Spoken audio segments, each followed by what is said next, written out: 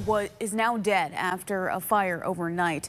We're told first responders were called to Middle Terrace around 2.30 a.m. where a mobile home was fully engulfed in flames. The woman who lived there died in the fire. She has been identified as 61-year-old Teresa Garnett. The fire also impacted some neighboring mobile homes. If you know anything about how it started, call the Vernon Fire Department.